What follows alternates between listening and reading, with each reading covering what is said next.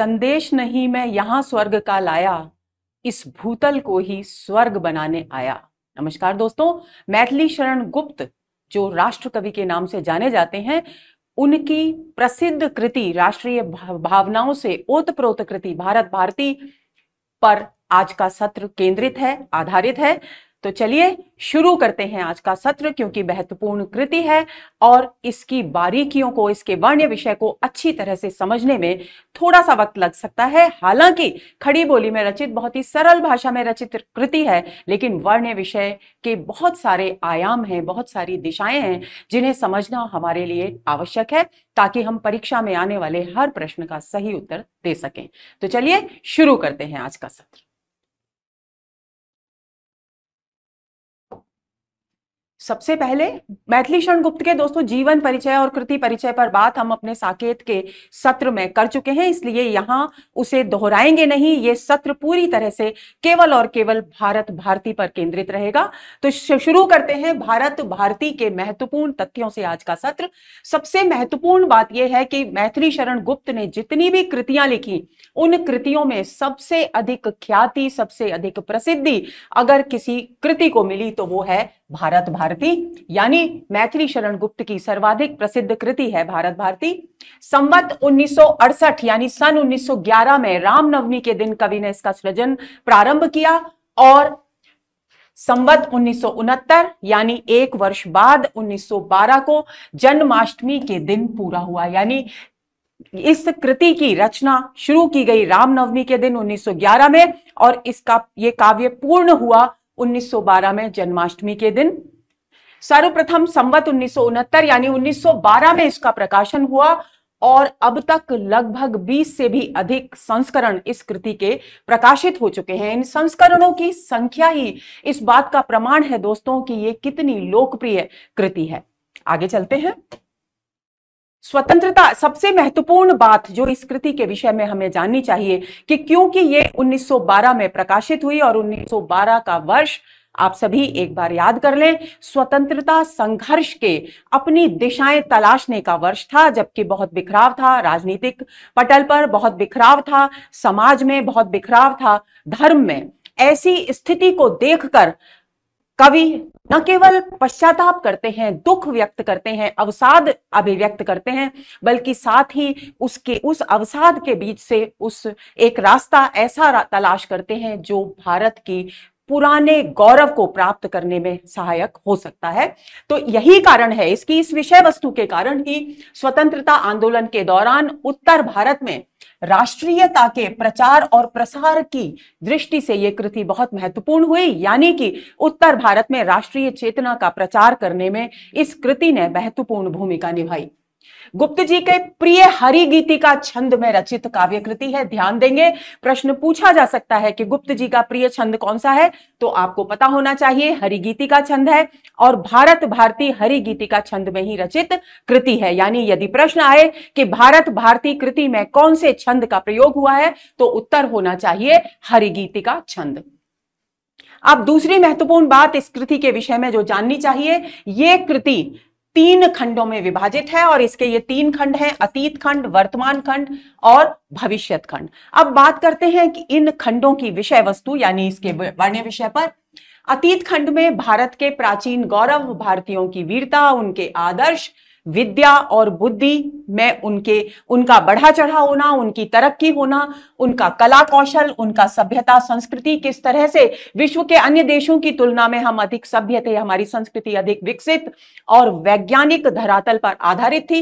इसकी चर्चा की गई है, साहित्य के कितने कितने रूप और किस किस रूप में साहित्य लिखा गया और साहित्य का उद्देश्य क्या था, इसकी चर्चा की गई है।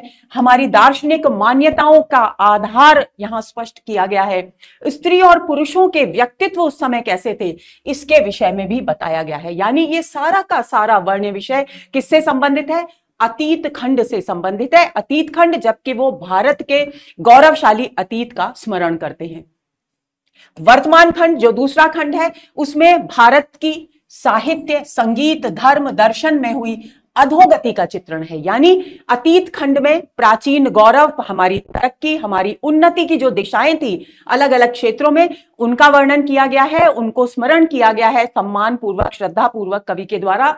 लेकिन जब वो वर्तमान स्थिति को देखते हैं भारत की, ये भारत वही भूमि है जहाँ ऋषियों ने एक उन्नत सभ्यता की शुरुआत की थी, उन्नत सभ्यता का आगाज़ किया था और उसी भारत की जब पतित स्थिति देखते हैं, अधोन्नत स्थिति देखते हैं, अवनत स्थिति देखते हैं तो कवि का हृदय दुख से पीड़ित हो उठता है और वो देखते हैं कि जो साहित्य पहले आदर्श से युक्त था, वो साहित्य अब उस आदर्श को छोड़ चुका है। संगीत, धर्म, दर्शन सब में अवनति के चिन्ह स्पष्ट रूप से दिखाई दे रहे हैं और जो समाज के संपन्न वर्ग के लोग हैं, यानी जो रईस हैं, वे समाज की तरफ़, देश की तरफ़ उनका जो दायित्व है उससे विमुख हो गए हैं और भोग लिप्सा में ही लीन है, यानी विलासता में लीन है। देश की प्रगति की ओर, प्रजा के कल्याण की ओर उनका ध्यान है ही नहीं।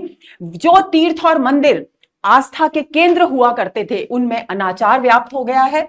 समाज पतन की ओर अग्रसर है, क्योंकि वर्ण व्यवस्था पूरी तरह से छिन्न भिन्न हो चुकी है।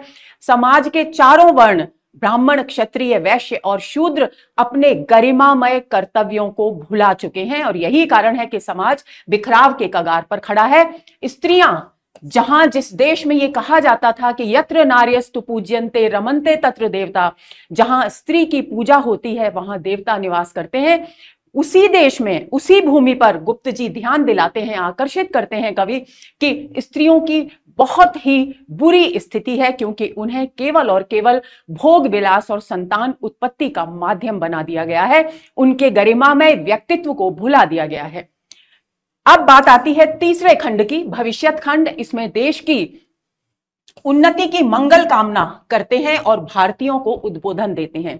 सांकेतिक उद्बोधन तो दोस्तों, इस पूरी की पूरी कृति में यत्र तत्र हमें देखने को मिलता है। लेकिन भविष्यत खंड में जब वे देश के भविष्य की बात करते हैं तो कवि ये स्पष्ट करते हैं कि भले ही हमारा जो गौरवशाली अतीत था, वो अब लुप्त हो गया है, लेकिन यदि हम कुछ एक अपनी कमजोरियों पर उस अपनी उस अवनति के कारणों पर विचार करें तो हम निश्चय ही उन्नति का अपना पथ प्रशस्त कर पाएँगे। और इसी बात को ध्यान में रखते हुए कवि उन्नति की, यानी देश की, भारत की उन्नति की मंगल कामना करते हैं और भारतवासियों को जगाने का प्रयास करते हैं, उनकी चेतना को जागृत करने का प्रयास करते हैं। आगे चलें। एक बहुत ही महत्वपूर्ण बिंदु है दोस्तों, जो मुझे किसी बहुत ही पुरानी जीर्ण शीर्ण सी पुस्तक में मिला। उसमें यह कहा गया था कि कवि ने एक पूर्व दर्शन नाम से, यानी कवि मैथिली शरण गुप्त ने पूर्व दर्शन नाम से एक तुकबंदी लिखी थी। और उस तो तुकबंदी से कुर्री सुदौली एक स्थान था, वहाँ के जो अधिपति थे, माननीय श्रीमान राजा रामपाल सिंह जी ने मैथिली क्षण गुप्त से आग्रह किया कि वे ये जो पूर्व दर्शन है, यानी पूर्व के विषय में, यानी पूर्व के देश, यानी भारत के विषय में जो गौरवपूर्ण वचन उन्होंने इस तुकबंदी में कहे हैं, इसी को विस्तृत रूप में, काव्य के रूप में वे अभिव्यक्त करें तो समाज के लिए एक मार्गदर्शक मार्गदर्शक काव्य प्रस्तुत हो सकेगा। तो उनकी इसी आग्रह पर, उनकी इसी प्रेरणा से कवि ने इस काव्य की रचना की। ऐसा कुछ विद्वानों का मानना है। अब बात आती है कि भारत भारती और मैथिली शरण गुप्त के भारत भारती को लेकर जो दृष्टिकोण है, उसके विषय में कुछ एक विद्वान क्या कहते हैं, जिनके कथन अक्सर परीक्षाओं में पूछे जाते हैं। तो सबसे पहले बात आती है आचार्य रामचंद्र शुक्ल के कथन की। वे कहते हैं, गुप्त जी की ओर पहले पहल हिंदी प्रेमियों का सबसे अधिक ध्यान खींचने वाली उनकी भारत भारती निकली। यानी स्पष्ट रूप से शुक्ल जी ये स्वीकार करते हैं कि 1912 में भारत भारती के प्रकाशन के साथ ही मैथिली शरण गुप्त को कवि के रूप में पहचान मिली। यानी लोगों ने उनके कवि कर्म को पहचाना, उसको सराहा। इसमें मुसद्दस हाली मुसद्दस हाली दोस्तों, उर्दू के, उर्दू की एक रचना है जिसमें समाज में व्याप्त बुराइयों और देश की विषमताओं पर उर्दू में विवरण प्रस्तुत किया गया है। तो शुक्ल जी कहते हैं कि मुसद्दस हाली की शैली में, जिस प्रकार मुसद्दस हाली में समाज का कल्याण, समाज का सुधार करने की दृष्टि से समाज, राजनीति, धर्म आदि के क्षेत्रों में जो विषमताएँ व्याप्त हैं, उनकी चर्चा की गई और ये वो ग्रंथ है दोस्तों, जिन्होंने अपने समय में न केवल पाठकों को रुलाया जिस जिस व्यक्ति ने इस रचना को, उर्दू की स्कृति को पढ़ा, वो अपने भारत की, देश की स्थिति को देखकर रोया। तो जितनी पीड़ा जितनी व्यथा इसमें प्रस्तुत की गई है शुक्ल जी ये मानते हैं कि उसी से प्रभाव उसी से प्रेरणा ग्रहण कर भारतीयों की या हिंदुत्व की भूत और वर्तमान दशाओं की विषमता को आधार बनाकर कवि मैथिली शरण गुप्त ने भारत भारती की रचना की। तो शुक्ल जी कहते हैं कि भविष्य निरूपण का प्रयत्न नहीं है यानी भारत वर्ष में भार, भारत भारती में अतीत का गौरवगान है वर्तमान दुरावस्था का चित्रण है लेकिन भविष्य किस प्रकार का हो और किस मार्ग पर चलकर हो, इसका निरूपण करने का प्रयत्न नहीं किया गया है। ये बात शुक्ल जी स्वीकार करते हैं। यद्यपि काव्य की विशिष्ट पदावली, रसात्मक चित्रण, वाग वैचित्र इत्यादि का विधान इसमें न था, पर बीच बीच में मार्मिक तथ्यों का समावेश बहुत साफ़ और सीधी सादी भाषा में होने से यह स्वदेश की ममता से पूर्ण नवयुवकों को बहुत प्रिय हुई। स्पष्ट रूप से शुक्ल जी कहते हैं कि इस काव्य में न तो कुछ विशिष्ट पदों का प्रयोग है, न इसमें बहुत बहुत अधिक रसात्मक चित्रण है। ना इसमें वाग वैचित्र है, यानी व्यंजनात्मकता है, इसकी भाषा में प्रभाव उत्पन्न करने की क्षमता है। लेकिन फिर भी, क्योंकि इस कृति के बीच बीच में कुछ ऐसे मार्मिक स्थलों की योजना की गई है, जिन्होंने, जो देश के नवयुवक थे, जो देश के प्रति भक्ति भावना से, देशभक्ति से परिपूर्ण नवयुवक थे, वे इसकी ओर बहुत आकर्षित हुए और ऐसे देशभक्त नवयुवकों के बीच भारत भारती बहुत अधिक लोकप्रिय हुई। ये बात शुक्ल जी भी स्वीकार करते हैं। प्रस्तुत विषय को काव्य का पूर्ण स्वरूप न दे सकने पर भी इसने हिंदी कविता के लिए खड़ी बोली की उपयुक्तता अच्छी तरह से सिद्ध कर दी। शुक्ल जी कहते हैं कि यद्यपि जिस विषय को यहाँ कवि ने उठाया, उसे पूरी तरह से वे अभिव्यक्त नहीं कर सके। लेकिन फिर भी भारत भारती कृति इस दृष्टि से महत्वपूर्ण है कि इस कृति ने अपने प्रभाव से, अपनी लोकप्रियता से यह साबित कर दिया कि खड़ी बोली में भी अच्छी से अच्छी, एक से एक भावपूर्ण कृतियाँ लिखी जा सकती हैं। आगे चलते हैं। दूसरे कथन की बात करते हैं और दूसरा कथन है आचार्य हजारी प्रसाद द्विवेदी का। वे लिखते हैं, भारत भारती में प्राचीन गौरव के प्रति कवि की आस्था व्यक्त हुई है। यानी शुक्ल जी तो इस बात को स्वीकार करते हैं कि अतीत का गौरव है, वर्तमान की दुरावस्था है, लेकिन भविष्य के प्रति कोई दिशा निर्देश नहीं है। हजारी प्रसाद द्विवेदी कहते हैं कि यहाँ कवि प्राचीन भारत का जो गौरव है, उसके प्रति अपनी आस्था, अपना विश्वास व्यक्त करता है। उसमें आर्य समाज के तत्कालीन आंदोलन का प्रभाव है। प्रश्न पूछा जा सकता है कि किसने भारत भारती के तथ्य पर आर्य समाज के आंदोलन का प्रभाव माना है? तो हजारी प्रसाद द्विवेदी हमारा उत्तर होना चाहिए। तो उसमें आर्य समाज के तत्कालीन आंदोलन का प्रभाव है। फिर भी कवि ने भविष्य के लिए आशा का संदेश दिया है। ध्यान देंगे, शुक्ल जी कहते हैं कि भविष्य के लिए कोई मार्गदर्शन नहीं, लेकिन हजारी प्रसाद द्विवेदी कहते हैं कि कवि ने भविष्य के लिए आशा का संदेश दिया है। भारत भारती ने तत्कालीन शिक्षित जनचित्त की आशा आकांक्षा को बुभुक्षित रहने से बचाया। बुभुक्षित यानी भूखा। देखिए, जिस तरह से हमारे शरीर के पोषण के लिए हमें भोजन की आवश्यकता होती है, उसी तरह से हमारी चेतना के उत्कर्ष के लिए हमें मूल्यों की आवश्यकता होती है, आदर्शों की आवश्यक, आवश्यकता होती है सद विचारों की आवश्यकता होती है। तो हजारी प्रसाद द्विवेदी कह रहे हैं कि जितने भी शिक्षित जन समुदाय था उस समय जब भारत भारती प्रकाशित हुई तो जो शिक्षित जन समुदाय था, जिसकी चेतना को उन्नत होने के लिए सद विचारों की आवश्यकता थी, वे इस भारत भारती कृति से उन सदविचारों को प्राप्त कर सके जिससे कि उनकी चेतना उन्नत हो जाए, यानी वे इस बात के लिए प्यासे नहीं रहे।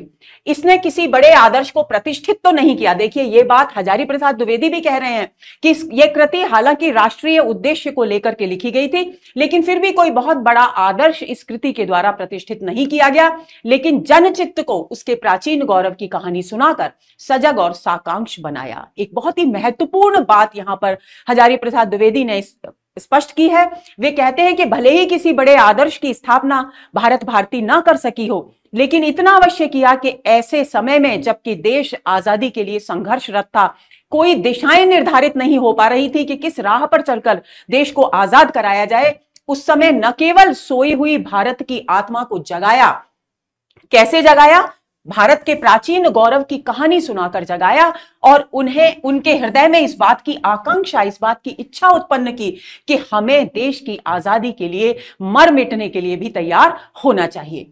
भारत भारती ने उन दिनों विदेशी शासन से मुक्ति पाने की अपूर्व प्रेरणा दी। समूचे हिंदी भाषी प्रदेश को उद्बुद्ध और प्रेरित करने में इस पुस्तक ने प्रशंस प्रशंसनीय होगा। दोस्तों, ये प्रशंसनीय शक्ति का परिचय दिया। यानी हजारी प्रसाद द्विवेदी भी स्वीकार करते हैं कि उत्तर भारत में राष्ट्रीय भावनाओं के प्रचार और प्रसार में भारत भारती नामक गुप्त जी की कृति ने महत्वपूर्ण भूमिका निभाई। अब बात आती है डॉक्टर बच्चन सिंह क्या कहते हैं। वे लिखते हैं कि हिंदी भाषा भाषी क्षेत्र में इतने व्यापक स्तर पर राष्ट्रीय सांस्कृतिक चेतना जगाने का जो काम अकेले भारत भारती ने किया अन्य पुस्तकों ने मिलकर भी नहीं किया। यानी एक स्वर से तीनों विद्वान ये स्वीकार करते हैं कि राष्ट्रीय चेतना को जगाने में भारत भारती नामक कृति की महत्वपूर्ण भूमिका रही। यद्यपि शुक्ल जी थोड़ा कम स्वीकार करते हैं, लेकिन हजारी प्रसाद द्विवेदी और डॉक्टर बच्चन सिंह तो खुले स्वर में इस बात को स्वीकार करते हैं। अब बात आती है भारत भारती के वर्ण्य विषय की। तो जैसा कि हमने अभी पढ़ा था दोस्तों कि भारत भारती तीन खंडों में विभाजित कृति है। तो सबसे पहले हम अतीत खंड पर बात करते हैं। बहुत संक्षेप में हम उन बिंदुओं को लेंगे जो यहाँ उठाए गए हैं और उनके माध्यम से ही हम कुछ चुनी हुई काव्य पंक्तियों को भी समझेंगे। भाषा बहुत सरल है आपको बिल्कुल भी सम, समझने में परेशानी नहीं होगी। तो सबसे पहली बात अतीत खंड के विषय में हमें जो जाननी चाहिए वो ये है कि अतीत खंड का प्रारंभ मंगलाचरण से हुआ है। हमारी जित, हमारी साहित्यिक परंपरा है दोस्तों कि जब भी कोई रचनाकार, कोई कृति लिखता था तो वो हमेशा मंगलाचरण से यानी अपने ईश्वर की वंदना से उस कृति को प्रारंभ करता था। कुछ काव्य गुरु की वंदना से भी प्रारंभ किए जाते थे। सभी के अपने अपने दृष्टिकोण के हिसाब से मंगलाचरण लिखा जाता था। तो यहाँ भी ये जो भारत भारती कृति है, उसका जो अतीत खंड है, यानी भारत भारती कृति का शुभारंभ मंगलाचरण से ही हुआ है। इस बात को ध्यान में रखेंगे। मंगलाचरण में अब किसकी वंदना की गई है? क्योंकि काव्य कैसा है, कृति कैसी है, राष्ट्रीय भावनाओं से ओतप्रोत कृति है, राष्ट्रीय भावनाएँ जगाने के उद्देश्य से लिखी गई कृति है। इसलिए मंगलाचरण में किसी ईश्वर के किसी रूप की वंदना नहीं की गई, लेकिन माँ भारती की वंदना की गई है। सबसे पहले माँ भारती, यानी भारत माता की वंदना करने के बाद सीतापति श्री राम और गीतामृत का पुण्य स्मरण करते हुए इस काव्य को शुरू किया गया है। इस बिंदु को आप भूलेंगे नहीं। अब बात आती है मानस भवन में आर्य जन जिसकी उतारे आरती, ये भारत भारती कृति की पहली पंक्ति है। अक्सर प्रश्न पूछ लिया जाता है कि प्रस्तुत कृति की पहली पंक्ति निम्नलिखित में से कौन सी है? तो आपको ध्यान होना चाहिए, मानस भवन में आर्य जन जिसकी उतारे आरती, यानी अपने हृदय के रूपी भवन में जो आर्य जन यानी आर्यों के जो वंशज जो भारतीय हैं, वो जिसकी आरती उतारते हैं, उस भारत माता की वह वंदना करता हूँ। ऐसी ये पंक्ति, पहली पंक्ति है भारत भारती रचना की, और ये मंगलाचरण का अंग है। मंगलाचरण के बाद कवि किसकी किसकी वंदना करते हैं? अपनी कलम की वंदना करते हैं, लेखनी की वंदना करते हैं। और सोए हुए राष्ट्रीय भावनाओं को जगाने की मंगल कामना करते हैं, यानी लेखनी की वंदना करते हुए, उससे निवेदन करते हैं, उससे प्रार्थना करते हैं कि मैं जो ये काव्य लिखने जा रहा हूँ, जिस उद्देश्य से लिखने जा रहा हूँ, यानी भारतवासियों को जगाने का जो बीड़ा मैंने इस काव्य के माध्यम से उठाया है, उस कार्य में मुझे पूरी सफलता प्राप्त हो, ऐसी मंगल कामना करते हुए इस काव्य कृति को आगे बढ़ाते हैं। अतीत खंड मंगलाचरण एवं उपक्रमणिका सहित 33 प्रमुख शीर्षकों में विभक्त है। इस बात को भी ध्यान में रखेंगे। पहले मंगलाचरण है, उसके बाद दूसरा शीर्षक है उपक्रमणिका और उसके बाद 33 अलग अलग शीर्षकों में इसको विभक्त किया गया है, जिसकी चर्चा हम आगे करेंगे। प्रत्येक शीर्षक में भारत के गौरवशाली अतीत के अलग अलग पहलुओं को प्रस्तुत किया गया है। अब अतीत खंड में चिंतन के कवि ने कौन से बिंदु प्रस्तुत किए हैं, उनकी बात करते हैं। संसार, सबसे पहला बिंदु जो ये कहा गया है, संसार में किसी का समय सदा एक सा नहीं रहता। इसका संदर्भ क्या है? इसका संदर्भ ये है कि कवि देखते हैं कि जो भारत कभी गौरव से भरपूर था, जिसका अतीत गौरवशाली था, वर्तमान में वो अत्यधिक शोचनीय अवस्था में पहुँच गया है। तो इस बात की पुष्टि करने के लिए वे कहते हैं कि समय तो परिवर्तनशील है, कभी किसी का भी समय एक सा नहीं रहता।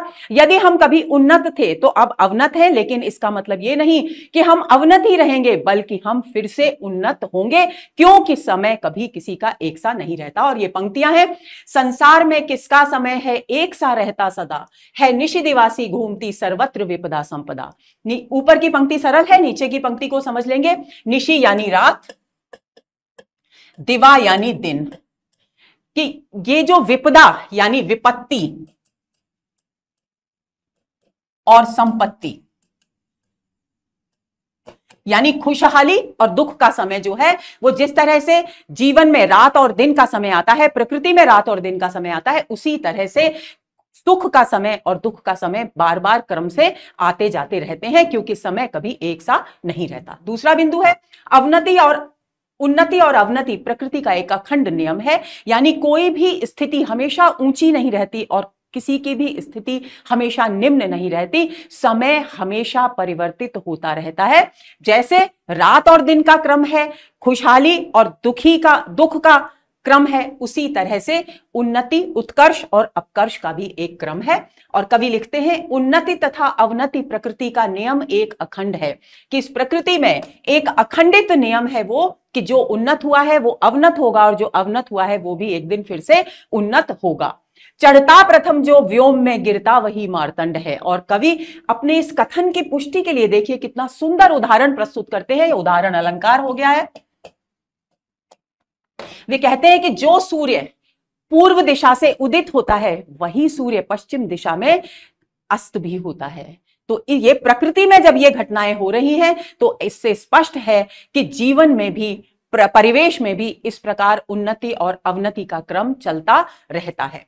अतएव अवनति ही हमारी कह रही उन्नत कला। और कवि कहते हैं कि हमारी जो आज की अधोगत स्थिति है, अवनत स्थिति है, यानी गिरी हुई जो दुर्दशा है भारत की, वही इस बात का प्रमाण है कि अतीत में यदि हम आज अवनत हुए हैं तो अतीत में हम उत्कर्ष पर प्राप्त उत्कर्ष तक पहुँचे हुए थे, यानी हम उन्नतिशील थे, और इससे भी स्पष्ट हो जाता है, संकेतित हो जाता है कि भविष्य में फिर हम उन्नति के शिखर पर होंगे।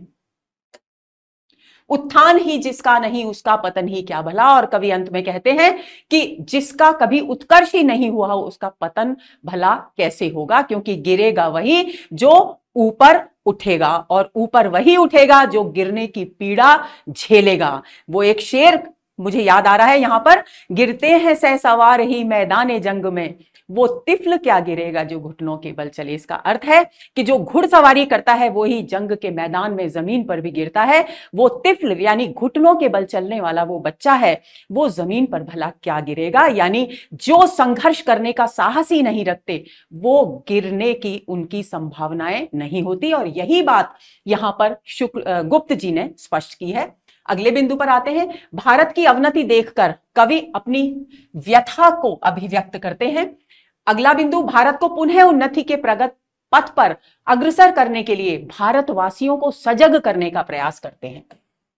यानी अतीत खंड में। जब वे भारत के गौरवशाली अतीत की चर्चा करते हैं, तब वे समझ जाते हैं कि यदि हमें फिर से उन्नति की ओर अग्रसर होना है तो हमारी, हमें सोए हुए भारतवासियों की जो सोई हुई चेतना है, उसको जगाना पड़ेगा। तो उसको जगाने का यहाँ प्रयास करते हैं। जैसा कि मैंने आपसे कहा था कि तीनों खंडों में, भले ही अतीत खंड में गौरव, भारत के गौरवशाली अतीत का गुणगान है, लेकिन बीच बीच में हर जगह कवि का वो मंतव्य स्पष्ट हो जाता है जब वे भारतवासियों की सोई हुई चेतना को जगाने का प्रयत्न करते दिखाई देते हैं। तो ये पंक्तियाँ देखिए, जो इस विषय पर आज कुछ कहने चले हैं हम यहाँ। यानी ये जो बुरी स्थिति है, जो पतनवगामी स्थिति है, उसके लिए कवि कह रहे हैं कि इस विषय पर आज हम जो कुछ इस कृति के माध्यम से कहने चले हैं, क्या कुछ सजग होंगे, सखे उनको सुखेंगे जो जहाँ। तो वे सखे यानी अपनी कलम को सखी के रूप में संबोधित करते हुए कह रहे हैं कि, हे सखी, हे मेरी कलम, क्या हमारे ये लिखने से हम जो कहने जा रहे हैं, उससे जो इस व्यक्ति इस काव्य की पंक्तियों को सुनेंगे, क्या उनमें थोड़ी जागरूकता आएगी, उतनी, उनकी चेतना जागृत होगी? हम कौन थे, क्या हो गए? बहुत ही महत्वपूर्ण पंक्तियाँ हैं, प्रश्न बार बार पूछा जाता है इन पंक्तियों पर। ध्यान दे लेंगे, भारत भारती के अतीत खंड से है, मैथिली शरण गुप्त की पंक्तियाँ हैं। वे लिखते हैं, हम कौन थे, क्या हो गए हैं, और क्या होंगे? अभी आओ विचारें, आज मिलकर ये समस्याएँ सभी। यानी गुप्त जी कहते हैं कि हमारा गौरवशाली अतीत कैसा था? हमारे पूर्वज कितने गौरवशाली थे? और आज हम कितनी अवनत अवस्था में पहुँच गए हैं कि हमारा इस संसार में कोई अस्तित्व ही नहीं रह गया है। तो ये जो समस्या, ये जो पतन की समस्या हमारी संस्कृति के अधोगति की जो समस्या हमारे सामने आई है, उसे हम सभी मिलकर संगठित रूप से जब तक इसकी समस्याओं के समाधान तलाश नहीं करेंगे, तब तक हमारी संस्कृति, हमारा देश उन्नति के पथ पर अग्रसर नहीं होगा। आगे चलें। ऋषिगणों से भारत की उत्पत्ति मानते हुए पूर्वजों का गौरव गान करते हैं कवि। वे मानते हैं कि ऋषिगणों से ही हम सबकी उत्पत्ति हुई है, यानी हमारे पूर्वज ऋषि थे। वे लिखते हैं, वे धर्म पर करते निछावर तृण समान शरीर थे। उनसे वही गंभीर थे, वरवीर थे, ध्रुवधीर थे।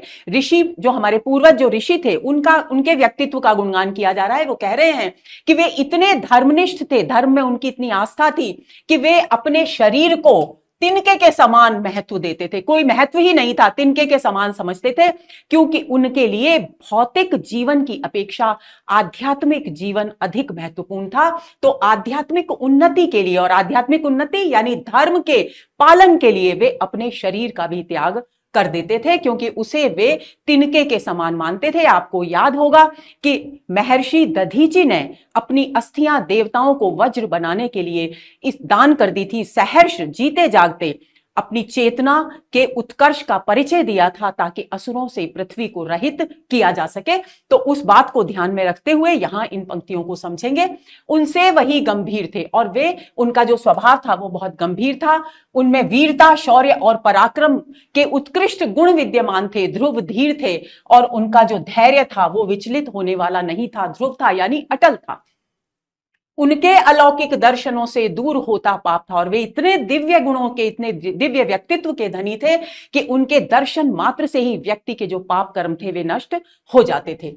अति पुण्य मिलता था तथा मिटता हृदय का ताप था और उनके दर्शनों से व्यक्ति को पुण्य कर्मों का फल मिलता था और उनके हृदय की जितनी भी पीड़ाएँ थी, वो सब समाप्त हो जाती थी। उपदेश उनके शांतिकारक थे, निवारक शोक थे और वे जब बोलते थे, जो उपदेश देते थे, जो बात करते थे, वे मनुष्य के संतप्त हृदय को शांति प्रदान करते थे और उसके निवारक शोक के, यानी उसके दुख का निवारण करते थे। सब लोग उनका भक्त था और यही कारण है कि उनके इन्हीं दिव्य व्यक्तित्व के गुणों के कारण सारे लोग, सारा समाज, सारी सारा भारतवर्ष उनकी आराधना करता था, उनके प्रति श्रद्धा का भाव रखता था। क्यों? वे थे हितेशी लोक लोक के क्योंकि वे अपने स्वार्थ में लिप्त नहीं रहते थे, बल्कि अपने स्वार्थ की सीमाओं से बाहर निकलकर लोक के कल्याण के विषय में सोचते थे। आगे चलें। अगला बिंदु है, भारतवासियों के आध्यात्मिक दृष्टिकोण का वर्णन। हम बाह्य उन्नति पर कभी मरते न थे संसार में, बस मग्न थे अंतर जगत के अमृत पारावार में। जड़ से हमें क्या जब के हम थे नित्य चेतन से मिले, हैं दीप उनके निकट क्या जो पद्म दिनकर से खिले। यहाँ पर इन पंक्तियों में कवि कह रहे हैं कि भारतवासियों का आध्यात्मिक दृष्टिकोण इतना बढ़ा चढ़ा था कि वे अपने प्राण तक बाह्य उन्नति के विषय में पहली बात तो कभी सोचते नहीं थे। बाह्य उन्नति का अर्थ क्या है? भौतिक उन्नति। भौतिक सुख सुविधाओं की, तरक्की करने की ओर वे सोचते नहीं थे और कभी उसके लिए मर मिटने के लिए तैयार नहीं होते थे। यानी भौतिक उन्नति की तरफ़ उनका ध्यान ही नहीं था। बस मग्न थे अंतर जगत के अमृत पारावार में। पारावार का अर्थ होता है समुद्र। वे केवल अपने हृदय में की चेतना की उन्नति के लिए उसके आनंद में ही डूबे रहते थे, क्योंकि वे भौतिक जगत से अपनी चेतना को ऊपर उठा चुके थे। जड़ से हमें क्या, जबकि हम थे नित्य चेतन से मिले। जड़, यानी जितनी भी भौतिक वस्तुएँ हैं, उनसे उनका कोई सरोकार नहीं था, उनके, उनको प्राप्त करने की उनमें कोई आकांक्षा नहीं थी। और वे नित्य अपने चेतना को ईश्वर की, ब्रह्म की चेतना में लीन करते, आनंद की प्राप्ति करते रहते थे। हैं, दीप उनके निकट क्या जो पद्म दिनकर से खिले, फिर उदाहरण अलंकार और प्रश्न अलंकार एक साथ हो गए हैं।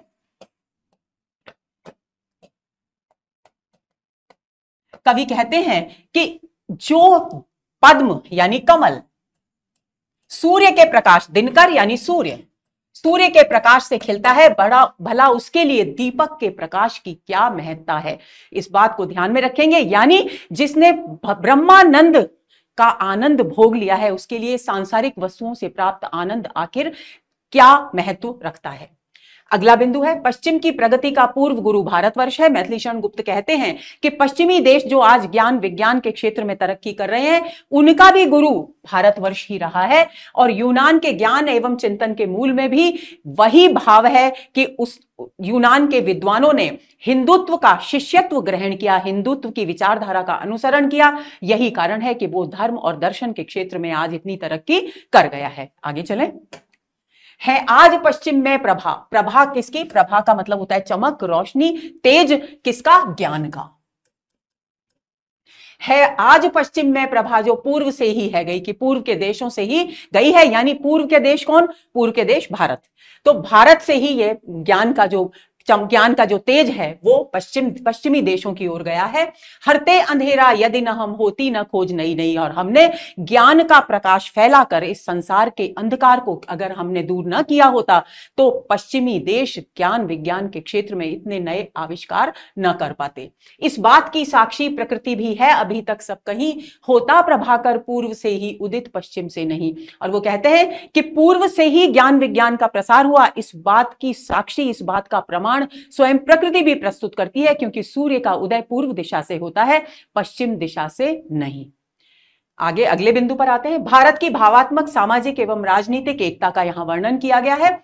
कवि लिखते हैं, सर्वत्र अनुपम एकता का इस प्रकार प्रभाव था। थी एक भाषा, एक मन था, एक सबका भाव था। यानी भाषा की एकता थी, मन की यानी हृदय से सद्भाव था और भावनाएँ एक थी, यानी भेदभाव, मनोमालिन्य, ईर्ष्या, द्वेष जैसी प्रवृत्तियाँ थी ही नहीं। आगे चलें। संपूर्ण भारतवर्ष मानो एक नगरी थी बड़ी। और इस प्रकार घुले मिले थे सभी भारतवासी, इस प्रकार संगठित थे कि पूरा भारत देश, विशाल देश एक नगर के समान बंधा हुआ, संगठित प्रतीत होता था। पुर और ग्राम समूह संस्था थी मोहल्लों की लड़ी। और छोटे छोटे मोहल्ले बनकर के गाँव बनते थे और गाँव का, की लड़ियाँ बनकर के पुर बनता था और पुरों के संगठन से देश का निर्माण होता था। सारी श्रृंखलाएँ आपस में इतनी घुली मिली थी, इतनी संगठित थी कि कोई उनकी तरफ़ आँख उठाकर भी नहीं देख सकता था। अगले बिंदु पर आते हैं, भारत की विद्या बुद्धि का वर्णन करते हैं, कवि की। हमारा जो गौरवशाली अतीत था, हमारे जो पूर्वज थे, वो विद्या और बुद्धि के क्षेत्र में कितने बड़े चढ़े थे, वे लिखते हैं, हम वेद वाको वाक्य विद्या, ब्रह्म विद्या विज्ञ थे। यानी हम वेदों की गहन ज्ञान के धनी थे। हम ब्रह्म विद्या को, ईश्वर को कैसे प्राप्त करना है, उसको भी हम जानते थे। नक्षत्र विद्या, नक्षत्रों से हम भाग्य का निर्धारण करना जानते थे। क्षत्र विद्या, यानी हम युद्ध की कला जानते थे, भूत विद्या अभिज्ञ थे और किस प्रकार तंत्र मंत्र करने चाहिए उसकी विद्या से भी हम परिचित थे। निधि नीति विद्या नीति शास्त्र में प्रबल थे। धन और संपन्नता कैसे प्राप्त की जाए उसमें हम पारंगत थे। राशियों के द्वारा कैसे ज्ञान प्राप्त किया जाए, कैसे व्यक्ति के भविष्य के विषय में जाना जाए, वो भी हम जानते थे।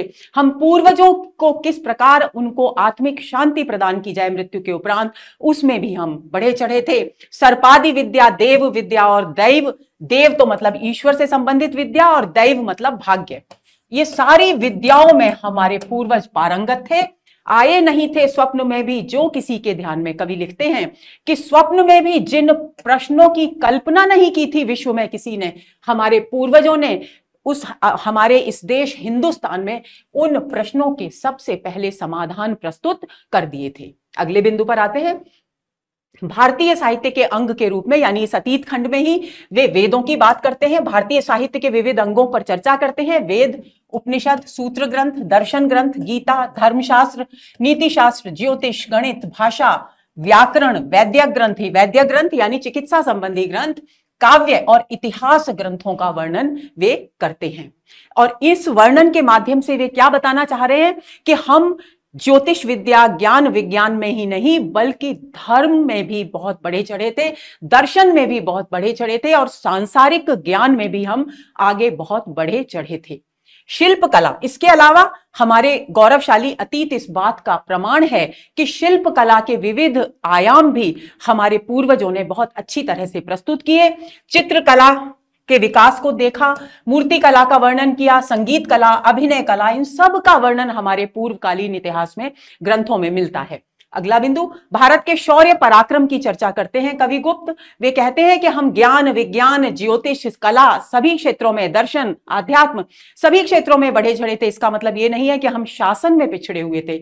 हम शासन में भी बहुत बड़े चढ़े थे। किस प्रकार हमें राजस्व के हमारे नियम क्या थे, वो ज़िक्र हमको ग्रंथों में मिलता है। राजाओं के शौर्य और पराक्रम की चर्चा हमें मिलती है। भारतीय जीवन मूल्य, हमारे जीवन का प्रमुख आधार थे। हमारे पूर्वज जीवन मूल्य मूल्यों और आदर्शों के लिए अपने प्राण तक त्यागने में संकोच नहीं करते थे। आगे चलें। अनार्यों के आक्रमण। इसके बाद कवि ये सारी पूरी पृष्ठभूमि बताते हैं और किस प्रकार अवनति का पथ प्रशस्त हुआ, उसकी चर्चा करते हैं कि किस प्रकार हमारे यहाँ पहले अनार्यों के आक्रमण हुए, फिर बौद्ध और जैनों का युग आया फिर यवनों का युग आया, फिर मुसलमानों का युग आया। यहाँ पर यवन जो शब्द है दोस्तों, वो मोहम्मद गौरी के आक्रमण से संबंधित है। इस बात को हम आगे देख लेंगे। तो इसको आपको ध्यान में रखना है कि क्रमशः इन युगों से होकर कैसे भारतीय संस्कृति, हमारा देश सम, हमारा समाज हमारा धर्म हमारा दर्शन पतन की ओर अग्रसर हुआ। उसका वर्णन यहाँ पर किया गया है। वे लिखते हैं क्या थे यमन पाते न प्रश्रय? यदि अधम जयचंद से। कि यमन यानी मोहम्मद गौरी हमारे सामने कुछ भी नहीं था। यदि उसे जयचंद नामक विश्वासघाती शासक का आश्रय न मिला होता सहारा न मिला होता तो क्या मजाल थी कि ये यवन पृथ्वीराज चौहान को जो पराक्रमी थे, शौर्यवान थे, उनको पराजित करने में सफल होते। ऐसा संभव ही नहीं था। यही कारण है कि इन्होंने यवनों ने छल का सहारा लेकर पृथ्वीराज चौहान को पराजित किया। हा, देश का दीपक बुझा, भीषण अंधेरा छा गया। और कवि लिखते हैं कि जैसे ही पृथ्वीराज जैसे पराक्रमी शासक परास्त हुए, वैसे ही इस देश में दीपक बुझ गया। कौन सा दीपक? स्वतंत्रता का दीपक। स्वतंत्रता का दीपक बुझ गया और सर्वत्र पराधीनता का अंधकार छा गया। निज कर्म के फल भोग का वह काल आगे आ गया और कोई ऐसा कर्म था जिसको भोगने के लिए हमारे देश के जीवन में वो भीषण अंधकार का समय आया। जो हम कभी फूले फले थे राम राज्य वसंत में, हा देखनी हमको पड़ी औरंगजेबी अंत में। और कभी कहते हैं कि हमारा जो देश राम के आनंदपूर्ण शासन काल में पुष्पित और पल्लवित हो रहा था, उन्नति के शिखर पर बढ़ रहा था।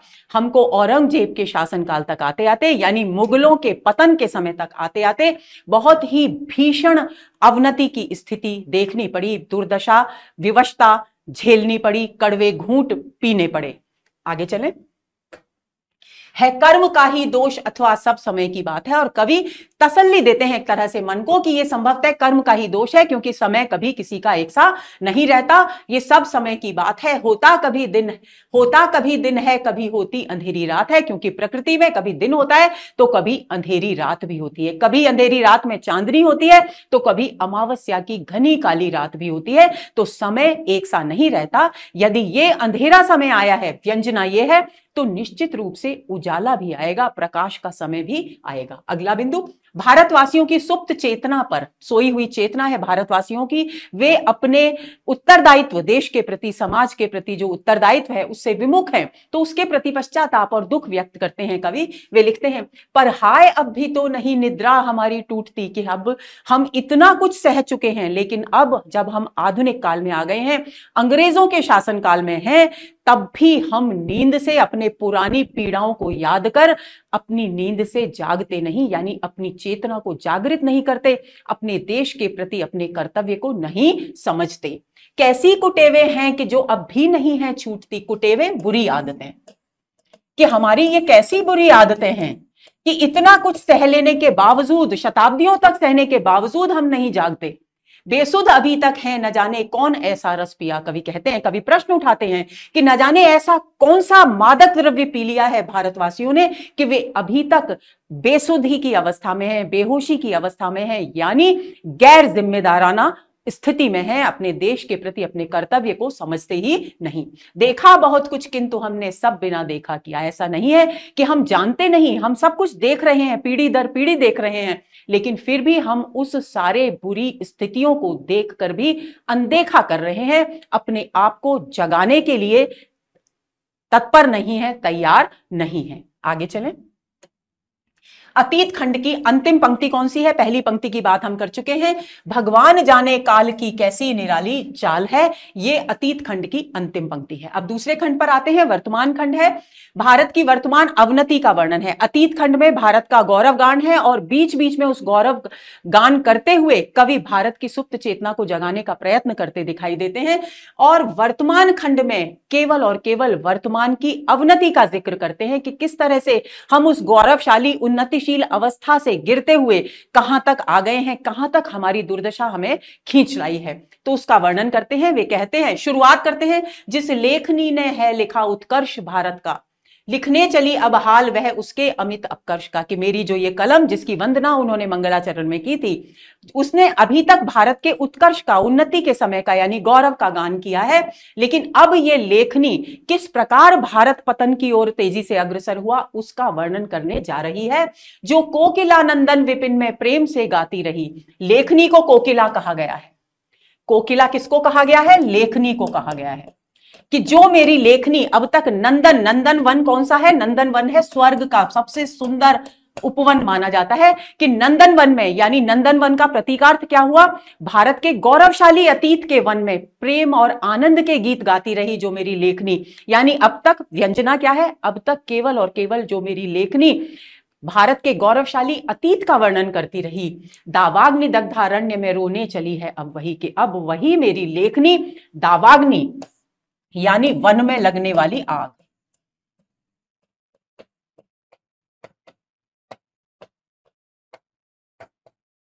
वन में लगने वाली जो आग है, उससे जलते हुए वन में अब अपनी वेदना को अभिव्यक्त करने चली है।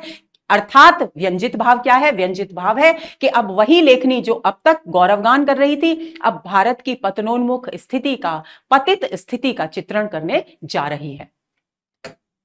भारत भारती के वर्तमान खंड की पहली पंक्ति है, जिस लेख ने है लिखा उत्कर्ष भारत वर्ष का, जो अभी हमने पिछले बिंदु में पढ़ी। वर्तमान खंड क्रमशः 28 शीर्षकों में विभक्त है। अतीत खंड 33 शीर्षकों में विभक्त वर्तमान खंड 28 शीर्षकों में विभक्त है और वर्तमान खंड की अंतिम पंक्ति है, मनुजत्व दो हमको दयामय, दुख दुर्बलता हरो, यानी कवि मंगल कामना करते हैं कि हमको मानवीय गुणों से संपन्न करो, मनुजत्व दो मानवीय गुणों से संपन्न करो, हे प्रभु हम पर दया करो, हमारी जितनी भी दुर्बलताएँ हैं उन्हें दूर करो, ताकि हम सबल होकर, आत्मविश्वास से भरपूर होकर के अपने देश की उन्नति का मार्ग प्रशस्त कर सकें। अब वर्तमान वर्तमान खंड में चिंतन के कौन से बिंदु अभिव्यक्त हुए हैं, उनको देख लेते हैं। सबसे पहला बिंदु है भारत के गौरवशाली अतीत का स्मरण कर, वर्तमान अवनत अवस्था पर कवि अपना दुख व्यक्त करते हैं। सबसे महत्वपूर्ण बात यह है। अब देखिए, किस तरीके से कवि दुख व्यक्त करते हैं? उन मंदिरों के ढेर ऊँचे अद्रि रूप उजाड़ हैं। हा, पूर्वजों की बैठकों पर दीखते अब झाड़ हैं। वे झाड़ मरमर मिस पवन में भर रहे ये शब्द हैं, जो थे यहाँ उनको हुए बीते अनेकों अब्द हैं। कवि इस उन पंक्तियों को समझ लेंगे। कवि कह रहे हैं कि जो ऊँचे ऊँचे मंदिर थे, जो हमारे पूर्वजों की आस्था और भक्ति भावना का केंद्र थे ऊँचे ऊँचे मंदिर, वे अद्रि अद्रि यानी पर्वत।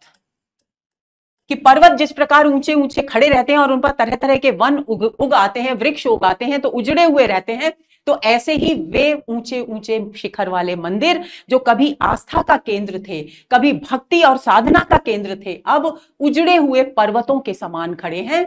हा, पूर्वजों की बैठकों पर दीखते अब झाड़ है और जिन स्थानों पर हमारे पूर्वज बैठकर सृष्टि से संबंधित विभिन्न बिंदु, रहस्यात्मक बिंदुओं पर चर्चा करते थे, विचार विमर्श करते थे, चिंतन करते थे, अब उन बैठक के स्थानों पर, उन आध्यात्मिक चिंतन के केंद्रों पर हमें क्या दिखाई देते हैं?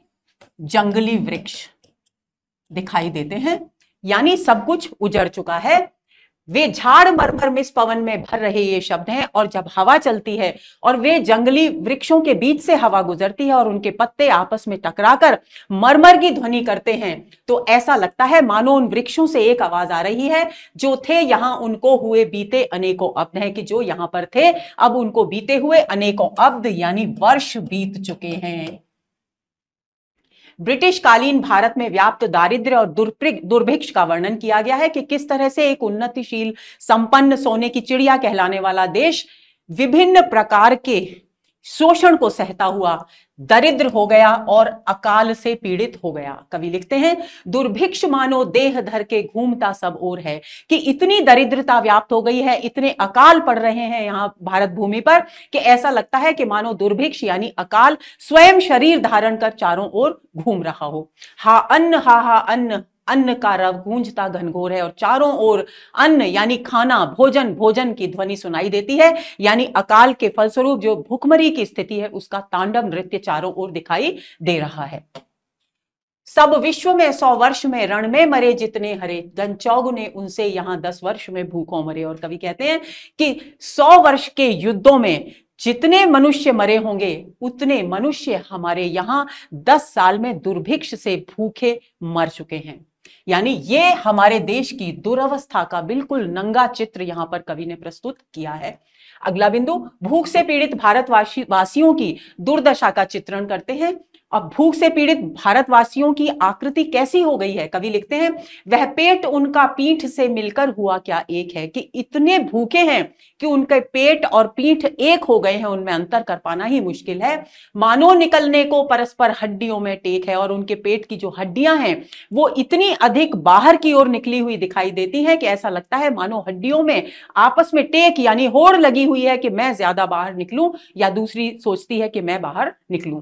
निकले हुए है दांत बाहर और क्योंकि मांस रहा ही नहीं तो दांत ही दांत चेहरे पर दिखाई देते हैं और नेत्र भीतर हैं धसे और जीवन के संघर्ष से, भुखमरी से, पीड़ा से, यातना से नेत्र बिल्कुल अंदर की ओर धंस चुके हैं।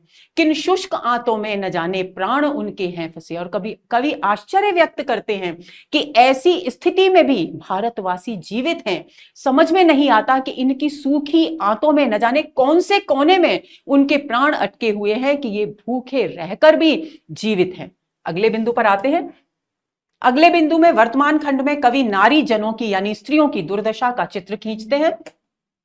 लिखते हैं नारी जनों की दुर्दशा हमसे कही जाती नहीं कि ये तो भुखमरी का दृश्य था। अब स्त्रियों की कितनी दुर्दशा है, उसका वर्णन करना तो मेरे लिए बहुत मुश्किल है। वे लिखते हैं, लज्जा बचाने को अहो जो वस्त्र भी पाती नहीं कि इतनी निर्धनता है। इतनी भुखमरी है कि जब खाने को अन्न नहीं है तो अपने शरीर को ढकने के लिए भी स्त्रियों को वस्त्र प्राप्त नहीं होते। जननी पड़ी है और शिशु उसके हृदय पर मुख धरे। कि ऐसे ऐसे दृश्य देखने को मिलते हैं कि एक और माता पड़ी है और उसके वक्ष पर मुख रखकर शिशु उसका बच्चा पड़ा है। देखा गया है, किंतु वे माँ पुत्र दोनों है मरे और जब बाद में जाकर देखा तो वे माता और पुत्र दोनों भूखे रहने के कारण मृत्यु को प्राप्त हो चुके हैं। जो कुलवती हैं, अब विडंबना क्या है समाज की? एक एक दृश्य तो ये है दोस्तों। दूसरा दृश्य है इन पंक्तियों में कि जो संपन्न परिवार की स्त्रियाँ हैं, वे भी बहुत संघर्ष के दौर से गुजर रही हैं। निम्न वर्ग की स्त्रियाँ तो फिर भी भिक्षावृत्ति अपना सकती हैं, भीख मांगकर अपने बच्चों का पेट भर सकती हैं। लेकिन जो कुलवती हैं, उनके लिए तो भीख मांगना भी दुश्वार है। तो उसके लिए लिखते हैं, जो कुलवती हैं, भीख वे मांग सकती हैं नहीं। मर जाए चाहे किंतु झोली टांग सकती नहीं। संतान ने आकर कहा माँ रात तो होने लगी।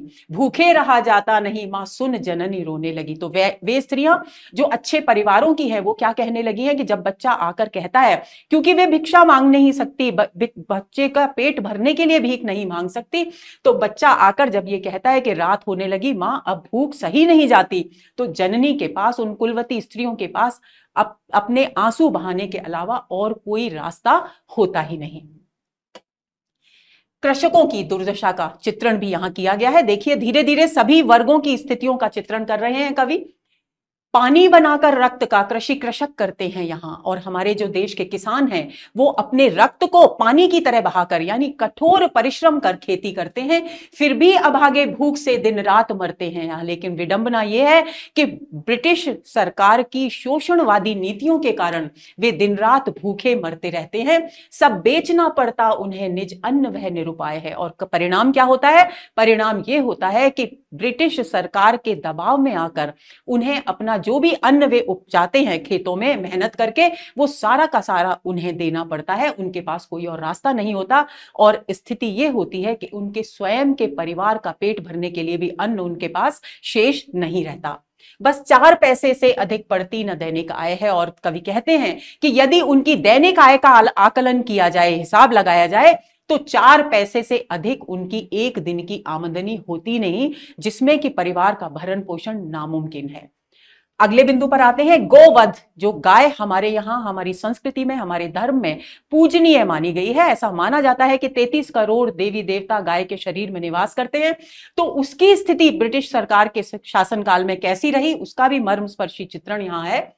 है, भूमि बंध्या हो रही कि एक और तो भूमि की उर्वरता को बढ़ाने के लिए सरकार कोई प्रयत्न नहीं कर रही तो बंध्या यानी बंजर हो रही है ज़मीन, यानी खेती की उपज कम हो रही है, वृक्ष जाति दिन दिन घट रही और बैलों की जो वंश है, वो भी कम हो रहा है, यानी बैलों की संख्या जो हल को जोतने में काम आया करते थे, कृषि कर्म में काम आते थे, वे भी निरंतर कम हो रहे हैं, घी दूध दुर्लभ हो रहा, और क्योंकि दुर्भिक्ष है, अकाल है, सारा अनाज जो उत्पन्न होता है, वो ब्रिटिश सरकार के द्वारा ले लिया जाता है तो ऐसी स्थिति में घी और दूध जो सुलभ था, जहाँ घी और दूध की नदियाँ बहा करती थी, अब वहाँ के लोगों के लिए घी और दूध अप्राप्य वस्तुएँ हो गई हैं, दुर्लभ वस्तुएँ हो गई हैं, बलवीर्य की जड़ कट रही और जहाँ भोजन पर्याप्त नहीं होगा, घी और दूध नहीं होंगे, ऐसी स्थिति में शारीरिक सामर्थ्य भी जो क्षमता है, वो भी धीरे धीरे कम होती जाएगी। गोवंश के उपकार की सब और आज पुकार है कि सब बात तो करते हैं कि गायों को बचाओ, उनकी रक्षा करो तो भी यहाँ उसका निरंतर हो रहा संहार है। लेकिन विडंबना यह है कि फिर भी गौ वंश का वध किया जा रहा है। अगले बिंदु पर आते हैं। ब्रिटिश कालीन भारत में जो बीमारियाँ फैल रही थी, प्लेग जैसी बीमारियाँ बहुत फैली उन दिनों, महामारी बहुत फैली, उसका भी चित्र यहाँ पर कवि प्रस्तुत करते हैं। वे कहते हैं, बेमौत अपने आप यूँ ही हम आगे मर रहे हैं कि एक और तो हम बिना वजह मर रहे हैं क्योंकि दुर्भिक्ष के कारण भूखमरी चारों ओर व्याप्त है। हाप्लेग जैसे रोग तिस पर है, चढ़ाई कर रहे हैं। उसके बाद भूखमरी के बाद अगर जो बच जाते हैं तो उनको प्लेग जैसी महामारियाँ आकर घेर लेती हैं।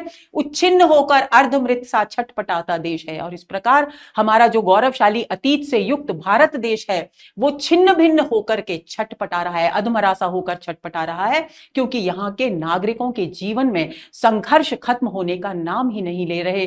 पीड़ाएँ एक के बाद एक आती ही जा रही हैं। सब और क्रंदन हो रहा है, क्लेश को भी क्लेश है। और इतनी चीख पुकार, हाहाकार चारों ओर मची हुई है कि जिसको देखकर क्लेश भी, को भी क्लेश हो जाए, क्लेश के चित्त में भी समस्या उत्पन्न हो जाए, उलझन उत्पन्न हो जाए, ऐसी स्थिति यहाँ है। अगले बिंदु पर आते हैं। अब व्यापार की दुरावस्था का चित्रण भी कवि करते हैं अपने काव्य में। जो वस्तु देखो made in England Italy Germany देखिए, जो कुछ ब्रिटिश काल में हो रहा था, आपने सुना होगा कि धन का निष्कासन ब्रिटिश काल की एक सबसे महत्वपूर्ण आर्थिक नीति थी कि वे भारत से कच्चे माल के रूप में और तैयार माल को बेचने के रूप में और राजस्व के रूप में और न जाने कितने अलग अलग रूपों में यहाँ से धन का निष्कासन कर जाते थे और अपने इंग्लैंड में उन्नति के मार्ग प्रशस्त करते थे। और यहाँ जो भी वस्तुएँ थी, वे सब विदेशी, यूरोपीय बाज़ार से बनी हुई वस्तुएँ थी तो उसी का चित्रण यहाँ कवि कर रहे हैं। कवि कह रहे हैं कि जो वस्तु देखो मेड इन इंग्लैंड इतनी जरबली के बाज़ार में जो भी वस्तुएँ दिखाई देती हैं, वे देशी वस्तुएँ तो यहाँ से गायब हो गई। क्यों? क्योंकि कच्चा माल देशी कुटीर उद्योगों के लिए बचता ही नहीं है। सारा माल यूरोप के देशों में चला जाता है। तो जो भी वस्तु बाज़ार में है, वो या तो इंग्लैंड की बनी है, इटली की बनी है, जर्मनी, जापान, फ्रांस, अमेरिका या अन्य देशों की बनी हुई है। होकर सजीव मनुष्य हम निर्जीव से हैं, हो रहे हालाँकि हम सभी सजीव हैं, हम में भी सामर्थ्य है, हमारे पास क्षमता है, लेकिन हम, क्योंकि अपने दायित्व के प्रति सजग नहीं है, इसलिए हम निर्जीव जैसा जीवन व्यतीत कर रहे हैं। घर में लगाकर आग अपने बेखबर हैं, सो रहे और हमारे घर में हम खुद आग लगा रहे हैं कि ऐसी विदेशी, विदेशों में बनी हुई जो वस्तुएँ हमारे बाज़ार में हैं, उनका उपयोग करके उनके उद्योग धंधों को बढ़ावा दे रहे हैं। तो एक तरह से हम क्या कर रहे हैं? अपने घर में ही आग लगाकर निश्चिंतता से सो रहे हैं। हम दूसरों को 500 की बेचते हैं जब रुई देखिए, बहुत ही बारीकी से कवि यहाँ लिख रहे हैं। कवि कहते हैं कि जब हमारे देश का किसान 500 रुपए की रुई बेचता है विदेशी को। सानंद कहते हैं कि हमको आय क्या अच्छी हुई कि अब की बार तो हमारी फ़सल बहुत अच्छी हुई, बहुत आमदनी हुई, हमने रुई बेचकर पाँच सौ रुपए कमाए क्योंकि उस समय पाँच सौ रुपए की कीमत बहुत हुआ करती थी दोस्तों।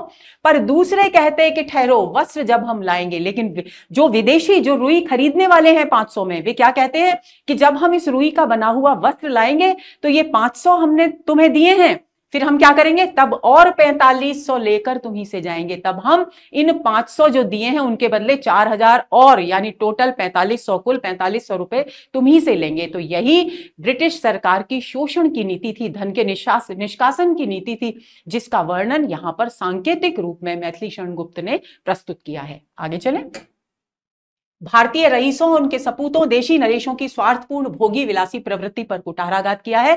दोस्तों, क्या होता है कि हम सभी समाज में हर तरह के, हर वर्ग के लोग होते हैं और जो संपन्न वर्ग होता है, उसके पास ये सामर्थ्य होती है कि वो देश के पुनर्निर्माण की तरफ़ ध्यान दे, समाज की उन्नति की तरफ़ ध्यान दे। यदि कोई विघटनकारी तत्व हमारे देश में, हमारी राजनीति में, हमारे समाज में, हमारे धर्म में पनप रहे हैं तो उनको रोकने का प्रयास करें। लेकिन हमारा जो उस समय का रईसों का समूह था, वो इस बात से बिल्कुल बेखबर, केवल भोग विलास में लिप्त था। तो उसी पर कुठाराघात करते हैं कवि इन पंक्तियों में, है दीन पर क्या देश की ऐसी अवस्था भी नहीं? आवश्यकीय पदार्थ जो बनने लगे क्रम से यही। कल कार, कल कारखाने खोल दें, ऐसे धनी भी हैं हम कि ऐसा नहीं है कि हमारे देश की ऐसी भी स्थिति नहीं है कि हम आवश्यक पदार्थ अपने यहाँ उत्पन्न कर सकें। आगे वे कहते हैं कि हमारे यहाँ ऐसे भी संपन्न वर्ग के लोग हैं जो कल कारखाने खोलने की क्षमता रखते हैं। पर कौन झगड़े में पड़े? हमको भला है क्या कमी? लेकिन वे जो संपन्न वर्ग के लोग हैं, वे इस बात की तरफ़ ध्यान ही नहीं देते क्योंकि उनका उद्देश्य केवल निजी स्वार्थ में लिप्त होना है और अपने जीवन के आनंद में डूबे रहना है। तो वे सोचते हैं कि कौन इस झंझट में पड़े? हमारे जीवन में तो कोई कमी नहीं है। तो हम सुख और आनंद से जीवन जी रहे हैं तो हमें दूसरों के जीवन से क्या? यानी उनकी दृष्टि आत्म केंद्रित और स्वार्थी हो गई है और यही कारण है कि हमारा देश निरंतर अवनति के मार्ग की ओर अग्रसर हो रहा है। तुम मर रहे हो तो मरो। आगे फिर आगे कहते हैं कि तुम मर रहे हो, यानी जो आम जन मर रहे हैं तुम मर रहे हो तो मरो। तुमसे हमें क्या काम है? हमको किसी की क्या पड़ी है? नाम है धन धाम है। तो उन देशी रईसों पर, भारतीय रईसों पर कुठाराघात करते हैं। कवि कहते हैं कि वे सोचते हैं कि हमारे पास धन है, हमारे पास ऊँचे ऊँचे धाम यानी महल है, भवन है तो हमारे जीवन में तो सुख और आनंद है। हमें कोई कमी नहीं है तो हमें दूसरों से क्या लेना देना भले ही हमारे देश के दूसरे जन भूख से मर रहे हों जहाँ चारों ओर हाहाकार मच रहा हो, लेकिन हम अपने सुख और साधन में ही डूबे रहेंगे। तुम कौन हो जिसके लिए हमको यहाँ अवकाश हो? यानी जो आम आदमी मर रहा है भूखा, उसके लिए कवि कहते हैं कि वे जो संपन्न वर्ग के लोग हैं, वे सोचते हैं कि तुम आखिर हमारे कौन हो? तुम्हारे लिए सोचने की, तुम्हारा कल्याण के विषय में सोचने के लिए हमारे पास समय नहीं है। सुख भोगते हैं हम, हमें क्या जो किसी का नाश हो, कि दुनिया चाहे मरे, समाज के दूसरे भारतवासी चाहे मृत्यु को प्राप्त हो, लेकिन हम अपने जीवन में तो सुख भोग ही रहे हैं। हमें भला किसी से क्या फ़र्क पड़ता है? देशी नरेशों को जरा, ये तो रईसों की बात थी। अब देशी नरेश कैसे हैं? देशी नरेशों को जरा भी ध्यान होता देश का। होते न विषयाधीन, यदि वे त्याग कर उद्देश्य का। तो दूसरा ही दृश्य होता आज भारतवर्ष का। दिन देखना पड़ता हमें क्यों? आज यह अपकर्ष का। कवि कहते हैं कि यदि देशी नरेश भी अपने दायित्व के प्रति सजग होते तो संभवतः भारत की ऐसी स्थिति नहीं होती। लेकिन विवशता क्या है? विडंबना यह है कि देशी नरेश नरेश अपने उद्देश्य को त्याग कर विषय वासनाओं में लीन हो गए हैं और यही कारण है कि भारत निरंतर अपकर्ष की ओर, अवनति की ओर बढ़ता जा रहा है। कवि ने भारत की इस अवनत वर्तमान स्थिति के लिए भारतवासियों की सुप्त चेतना क्या क्या जिम्मे, कारण बताए हैं अवनति के? सुप्त चेतना, अशिक्षा श्रृंगारिक एवं रुचि विघातक यंत्रों का सृजन, यानी आदर्शवादी जीवन मूल्यों की स्थापना वाले ग्रंथ नहीं लिखे जा रहे हैं। विषय भावनाओं की, को उत्तेजित करने वाला संगीत, हठी, पक्षपाती, द्वेष भाव से युक्त समाचार पत्रों का संपादन, इन सब कारणों को जिम्मेदार बताया है। स्वदेशी का प्रचार करने वाले, लेकिन विदेशी वस्त्र पहनने वाले जो उपदेशक हैं, उन पर भी कुठाराघात करते हैं। कवि वे कहते हैं कि है वेश तक उनका विदेशी, और यह उपदेश है कि जो स्वदेशी का प्रचार कर रहे हैं, वे स्वयं विदेशी वस्त्र पहनकर आते हैं, और उपदेश क्या देते हैं? त्यागो विदेशी वस्तुएँ, पहला यही उद्देश्य है। लो पीट दो सब तालियाँ, उपदेश है कैसा खरा? उपदेशकों पर आप अपनी ओर तो देखो जरा। तो कवि उन पर कुठाराघात करते हुए कहते हैं कि विदेशी वस्तुओं की होली जलाने के लिए प्रेरित करने वाले हे उपदेशकों, पहले तुम अपने व्यक्तित्व की ओर तो झाँक लो, अपने व्यक्तित्व का तो मूल्यांकन कर लो। आगे अगला बिंदु है पतनोन्मुख धर्म, सांप्रदायिकता, धर्म की स्वार्थ सिद्धि का माध्यम बनने का चित्रण यहाँ किया गया है। कवि कहते हैं, था धर्म प्राण प्रसिद्ध भारत के, हमारा जो भारत था जब गौरवशाली भारत था, धर्म उसकी चेतना में था। बन रहा अब भी वही। अब भी धर्म उसकी चेतना में है, लेकिन फ़र्क क्या है? बहुत सुंदर पंक्ति है दोस्तों, पर प्राण के बदले गले में आज धार्मिकता रही। आज प्राण पहले चेतना में धर्म बसता था, लेकिन अब गले में आ गया है, यानी केवल वाणी में सीमित रह गया है। हम बातें धर्म की करते हैं, लेकिन भीतर से धर्म को स्वीकार नहीं करते। हम आड़ लेकर धर्म की अब लीन है, विद्रोह में। मत ही हमारा धर्म है, हम पढ़ रहे हैं मोह में, और हम धर्म को भी अपनी स्वार्थ पूर्ति का साधन बनाते जा रहे हैं। है धर्म बस निस्वार्थता ही प्रेम जिसका मूल है। भूले हुए हैं हम, इसे कैसे हमारी भूल है? कि धर्म का जो वास्तविक स्वरूप है, उसे ही हम आज भूल चुके हैं। अगला बिंदु मंदिरों तीर्थ स्थानों में व्याप्त दुराचार, कामी साधु संतों, विविध वर्णों की पथभ्रष्टता स्त्रियों की अशिक्षा और दुर्दशा का चित्रण भी यहाँ कवि ने किया है। कवि लिखते हैं, पाले हुए पशु पक्षियों का ध्यान तो सकते सभी, पर नारियों की दुर्दशा क्या देखते हैं हम कभी? हमने स्वयं पशुवृत्ति का साधन बना डाला उन्हें, संतान जन्य मात्र को वसनान्न दे पाला तो हमें। वसनान्न यानी वस्त्र और भोजन, वस्त्र प्लस अन्न।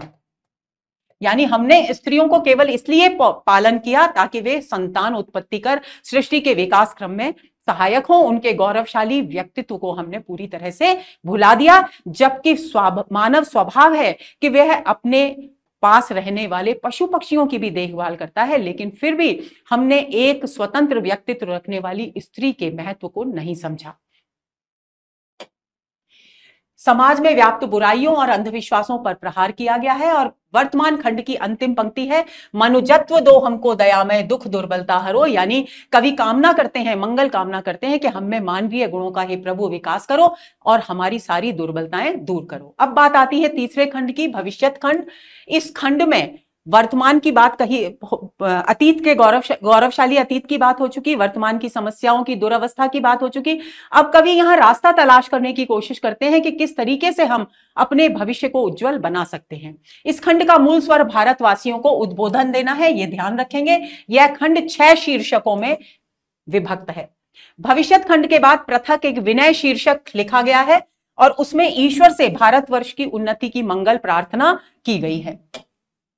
भविष्य खंड की पहली पंक्ति है हतभाग्य हिंदू जाति तेरा पूर्व दर्शन है कहा? इस पंक्ति का अर्थ है कि हे हिंदू जाति, तेरा तो बहुत ही बुरा भाग्य है, क्योंकि तेरा जो गौरवशाली दर्शन था, जीवन का दर्शन था, अब वो यहाँ कहीं दिखाई नहीं देता, यानी अपने पूर्वजों के आदर्शों को तो बिल्कुल भूल चुकी है।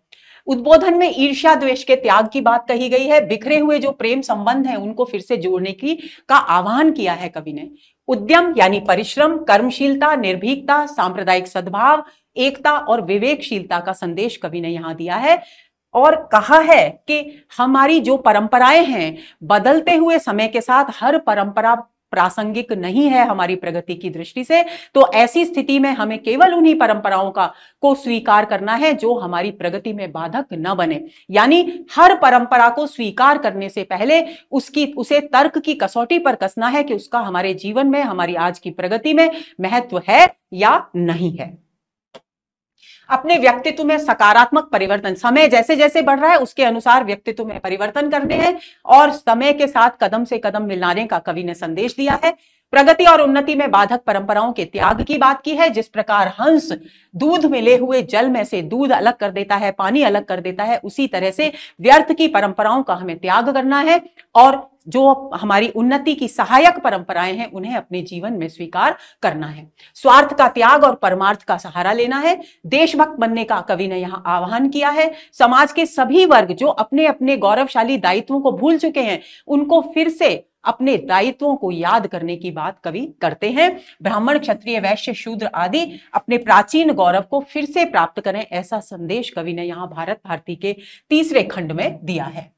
कवियों को सामाजिक पुनर्निर्माण की दृष्टि से काव्य सृजन करने का संदेश कवि ने दिया है। बहुत ही महत्वपूर्ण पंक्तियाँ हैं, प्रश्न पूछा जाता है।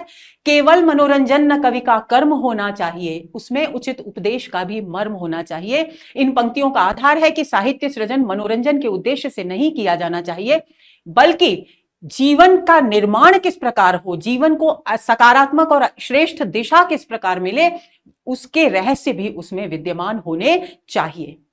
देश में शिक्षा के विकास पर कवि ने बल दिया है, क्योंकि अशिक्षा ही अधिकांशतः हमारी अधोगति का कारण है। अशिक्षा को ही हमारी अवनति का कारण मानते हैं मैथिली शरण गुप्त वे लिखते हैं, सबसे प्रथम कर्तव्य है शिक्षा बढ़ाना, देश में शिक्षा बिना ही पढ़ रहे हैं। आज हम सब क्लेश में शिक्षा बिना कोई कभी बनता नहीं सतपात्र है। शिक्षा बिना कल्याण की आशा दुराशा मात्र है। यदि हम शिक्षा प्राप्त नहीं करेंगे और सोचेंगे कि हमारा भला हो जाए, हम उन्नति कर लें तो वो हमारी आशा कभी पूरी नहीं होगी। हमेशा वो निराशा के रूप में ही सामने आएगी। सत्कर्मी देवदेशी नरेश उस समय हुए। समाज सुधारक जो हुए, देशभक्त जो हुए, महापुरुष जो हुए, उन सभी का गुणगान यहाँ पर कवि ने किया है। घोर संकट में भी विश्वास बनाए रखने का संदेश कवि यहाँ देते हैं। अंत में पारस्परिक विरोध और वैमनस्य को नष्ट कर, परस्पर प्रेम भाव रखने और वेद वाणी का प्रसार करने का संदेश भी कवि भविष्य खंड में देते हैं। सभी के इष्ट का फल प्राप्त करने की मंगल कामना काव्य के अंत में कवि ने कही है। वे लिखते हैं, उस वेद के उपदेश का सर्वत्र ही प्रस्तार हो। क्या मंगल कामना की है कवि ने? कि जो वेद वाक्य थे, जो वेदों की वाणी थी, उसके उपदेश सब चारों ओर भारत में फैलें। सौहार्द यानी सद्भावना बढ़े, मतभेद दूर हो, एकता स्थापित हो, अविरुद्ध मन का भाव हो, ईर्ष्या द्वेष समाप्त हो, सब इष्ट फल पावे और जिसके जीवन का जो प्राप्ति का उद्देश्य है वो उसे मिले, परस्पर प्रेम भाव रखकर सदा और समय हमेशा मनुष्य एक दूसरे के प्रति प्रेम का भाव रखे, निज यज्ञ भाग समानता से देव लेते हैं। यथा जिस प्रकार देवता जब हम यज्ञ करते हैं तो हर देवता अपने अपने हिस्से का, यज्ञ का भाग ग्रहण करते हैं। उसी तरह से प्रत्येक मनुष्य हमारे देश में अपने अपने हिस्से का दायित्व ले अपने अपने हिस्से का फल प्राप्त करे, ऐसी मंगल कामना के साथ कवि भारत भारतीय कृति का समापन करते हैं। अब बात आती है भारत, भारती पर आधारित महत्वपूर्ण प्रश्नों की। सबसे पहला प्रश्न है दोस्तों, मैथिली शरण गुप्त के कृतित्व के विषय में कौन सा कथन सही नहीं है? आरपीएससी असिस्टेंट प्रोफेसर 2020 में यह प्रश्न पूछा गया। पहला है, उर्मिला उत्ताप रचना ही राम कथा के मूल में परिवर्धित होकर साकेत के नाम से प्रकाशित की गई। दूसरा, उर्मिला, यशोधरा, विष्णुप्रिया आदि इनकी अपूर्व चरित्र सृष्टियाँ हैं। भारत भारती में आद्यंत भारत का गौरव गान वर्णित है। पंचवटी का कथानक शूर्पणखा प्रसंग पर आधारित है। तो पूछा क्या गया है, कौन सा कथन सही नहीं है? तो दोस्तों, भारत भारती में आद्यंत भारत का गौरव गान वर्णित है। ये कथन असंगत है, क्योंकि भारत भारती में अवनति और दुर्दशा का चित्रण भी है। भारत भारती में गौरव गान केवल और केवल अतीत खंड में मिलता है। तो आंसर होगा इसका सी। अगला प्रश्न। निम्नलिखित कृतियों को उनके प्रकाशन वर्ष के अनुसार आरोही क्रम में व्यक्त करने वाली श्रेणी है। यूपी टीजीटी 2021 में यह प्रश्न पूछा गया। पहला है, जय भारत, साकेत, भारत भारती, यशोधरा। दूसरा है, भारत भारती, साकेत, यशोधरा, जय भारत। भारत भारती, जय भारत, साकेत, यशोधरा। यशोधरा, साकेत, भारत भारती, जय भारत। तो बी विकल्प इस प्रश्न का सही उत्तर है। 1912 में हम पढ़ चुके हैं, भारत भारती का प्रकाशन होता है। तो इस प्रश्न का उत्तर होगा बी। अगला प्रश्न, हम कौन थे, क्या हो गए हैं, और क्या होंगे? अभी आओ विचारे, आज मिलकर ये समस्याएँ सभी। इन पंक्तियों पर हम चर्चा कर चुके हैं, किस कवि की पंक्तियाँ हैं? डीएसएसबी पीजीटी 2021 में ये प्रश्न पूछा गया। ज़ाहिर सी बात है, श्याम नारायण पांडे नहीं है। मैथिली शरण गुप्त की पंक्तियाँ हैं, दिनकर, माखनलाल चतुर्वेदी, सभी गलत विकल्प है। आंसर है बी अगला प्रश्न भारत भारती काव्य का प्रकाशन कब हुआ? Haryana assistant professor 2017 UPHSC assistant professor 2016 में प्रश्न पूछा गया 1910 1911 1912 1915 तो सी विकल्प इस प्रश्न का सही उत्तर है 1912 में प्रकाशित कृति है भारत भारती। तो आंसर होगा सी अगला प्रश्न, किस साहित्यकार ने राष्ट्र यानी मातृभूमि को सगुण मूर्ति सर्वेश की कहकर इसकी वंदना की है? बहुत ही महत्वपूर्ण पंक्ति है। किसी भी तरीके से पूछा जा सकता है, सगुण मूर्ति सर्वेश की ये पंक्तियाँ मैथिली शरण गुप्त की हैं। मैथिली शरण गुप्त इसका उत्तर है माखनलाल चतुर्वेदी, रामधारी सिंह दिनकर हरिऔध ये विकल्प गलत है। तो आंसर इसका होगा ए। अगला प्रश्न, भारत भारती की रचना का उद्देश्य है राजस्थान कॉलेज लेक्चरर 2014 में यह प्रश्न पूछा गया। अतीत से प्रेरणा ग्रहण करना, वर्तमान को सार्थक करना, भविष्य का निर्माण करना, इनमें से सभी। तो दोस्तों, अतीत से प्रेरणा ग्रहण करते हैं कवि, वर्तमान की सार्थकता पर सवाल उठाते हैं और भविष्य के निर्माण का रास्ता बताते हैं। तो इसका मतलब डी विकल्प इस प्रश्न का सही उत्तर है। ये सभी भारत भारती की उद्देश्य के मूल में है। तो आंसर होगा डी। अगला प्रश्न। किस कवि को राष्ट्र कवि की उपाधि मिली है? डीएसएसपी टीजीटी 2018 में प्रश्न पूछा गया। श्रीधर पाठक बाल मुकुंद गुप्त, सियाराम शरण गुप्त मैथिली शरण गुप्त। तो डी विकल्प इस प्रश्न का सही उत्तर है। मैथिली शरण गुप्त को राष्ट्र कवि के नाम से जाना जाता है। गुप्त जी वास्तव में सामंजस्यवादी कवि हैं, प्रतिक्रिया का प्रदर्शन करने वाले अथवा मद में झूमने या झीमने वाले कवि नहीं। मैथिलीशरण गुप्त पर यह मंतव्य निम्नलिखित विचारकों में से किसका है? केवीएस पीजीटी 2018 में यह प्रश्न पूछा गया। रामचंद्र शुक्ल, रामस्वरूप चतुर्वेदी, डॉक्टर नगेंद्र या रामधारी सिंह दिनकर। तो ए विकल्प इस प्रश्न का सही उत्तर है। रामचंद्र शुक्ल ने गुप्त जी के विषय में ये पंक्तियाँ कही है। तो आंसर होगा हमारा ए। अगला प्रश्न। मैत्रीशरण गुप्त की निम्नलिखित रचनाओं में से कौन सी अनुदित है, मौलिक नहीं? केवीएस पीजीटी 2018 में यह प्रश्न पूछा गया। पंचवटी, जय भारत, मेघनाथ वध और नहुष। तो दोस्तों, ध्यान रखना है आपको, पंचवटी, जय भारत और नहुष, ये तीनों उनकी मौलिक कृतियाँ हैं। मेघनाथ वध उनकी अनुदित कृति है। तो आंसर होगा इसका सी। अगला प्रश्न। भारत भारती के संबंध में कौन से कथन सही है? यूजीसी नेट 2019 में यह प्रश्न पूछा गया। पहला विकल्प है भारत भारती की रचना मुसद्दसे मुद्दो जजे इस्लाम की प्रेरणा से हुई, यानी मुदस्से हाली, जिस ग्रंथ का मैंने ज़िक्र किया था, जिसमें सबसे पहले समाज की दुरावस्था के विषय में विचार व्यक्त किया गया, उसकी चर्चा यहाँ पर की गई है। राष्ट्रीय सांस्कृतिक चेतना जगाने में यह कृति विफल रही, यह कथन बिल्कुल गलत है, क्योंकि हम पढ़ चुके हैं कि राष्ट्रीय सांस्कृतिक चेतना उत्तर भारत में जगाने में भारत भारती ने अकेले ही बहुत महत्वपूर्ण भूमिका निभाई।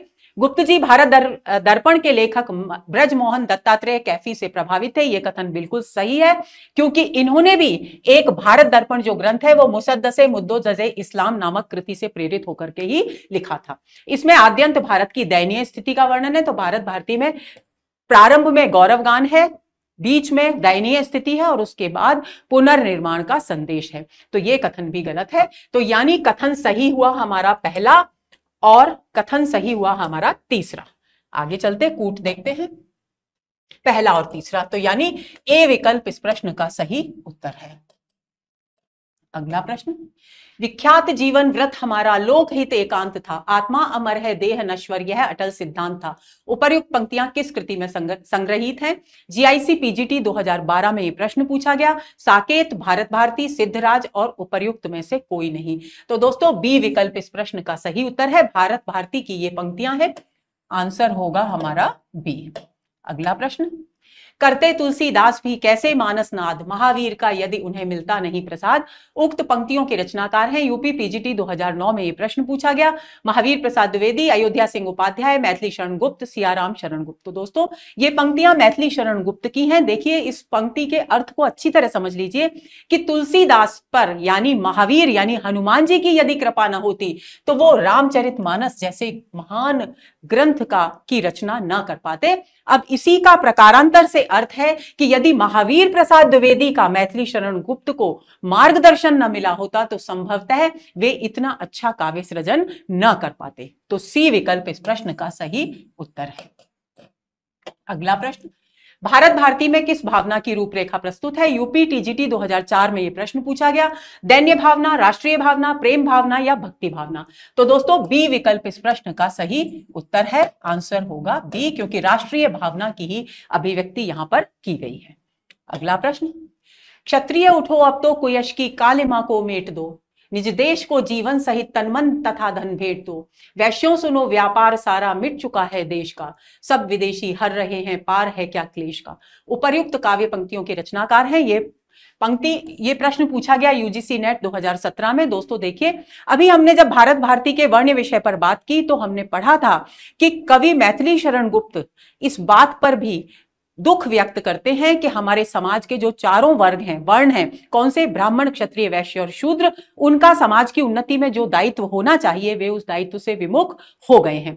तो यहाँ पर वही पंक्तियाँ हैं कि क्षत्रियों को उनके पराक्रम और शौर्य की याद दिलाई जा रही है, वैश्यों को व्यापार से संबंधित देश की आर्थिक उन्नति के प्रति उनका जो दायित्व है, वो याद दिलाया जा रहा है। तो वे कह रहे हैं, क्षत्रिय उठो, अब तो कोई यश की, कि तुम्हें जो बुरा यश प्राप्त हुआ है, जो अब कीर्ति प्राप्त हुई है, उसको मिटाकर अपने शौर्य और पराक्रम को फिर से आगे बढ़ाओ। निज देश को जीवन सहित और निज अपने देश के लिए अपना तन, मन और धन सब कुछ अर्पित कर दो। वैश्यों सुनो व्यापार सारा, कि वैश्यों से कहते हैं कवि कि सारा देश का जो व्यापार है वो बिल्कुल समाप्त हो चुका है। सारे विदेशी जो हैं वो धन और संपत्ति को हर कर, हरण करके यहाँ से ले जा रहे हैं। और यही कारण है कि समाज में, देश में सर्वत्र त्राही त्राही मची हुई है। तो तुम अब व्यापार की बागडोर को अपने हाथों में लो और देश की आर्थिक उन्नति के पुनर्निर्माण की ओर अपना कदम बढ़ाओ। तो ये जो पंक्तियाँ हैं, वो किसकी हुई? भारतेंदु हरिश्चंद्र मैथिली शरण गुप्त, प्रताप नारायण विश्व और रामधारी सिंह दिनकर। तो मैथिली शरण गुप्त की भारत भारती कृति से संबंधित है। तो आंसर होगा हमारा बी। अगला प्रश्न। पर हाय, इस उद्यान का कुछ दूसरा ही हाल है। पंक्ति में उद्यान शब्द किसका संकेतक है? विश्व, भारत, वैदिक संस्कृति या हिंदू धर्म? तो दोस्तों, इस पंक्ति में भारत की ओर संकेत किया गया है उद्यान शब्द के द्वारा, क्योंकि पहले कवि भारत के गौरवशाली अतीत की बात करते हैं और फिर कहते हैं कि लेकिन अब जब मैं इस उद्यान को, यानी भारत भूमि के इस सुंदर बाग को देखता हूँ तो इसका अब हाल उतना, वो गौरवशाली नहीं है। अब इसका दूसरा ही हाल हो चुका है। तो इसका उत्तर होगा बी। अगला प्रश्न। भारत भारती में कवि गुप्त ने भारतवासियों का उद्भव किससे माना है? ऋषिगणों से, ईश्वर से, मनु से या प्रकृति से? तो हम पढ़ चुके हैं। ए उत्तर बिल्कुल सही है। ऋषियों से, हमारे पूर्वज क्योंकि ऋषि थे, उनसे ही भारतवासियों का उद्भव कवि ने माना है। तो आंसर होगा हमारा ए। अगला प्रश्न, सद्भाव सरसिज वर जहाँ पर नित्य रहते थे खिले, पंक्ति में रेखांकित पद में कौन सा अलंकार है? सो, सद्भाव सरसिज में एक तो अनुप्रास अलंकार है, लेकिन विकल्प में अनुप्रास है ही नहीं।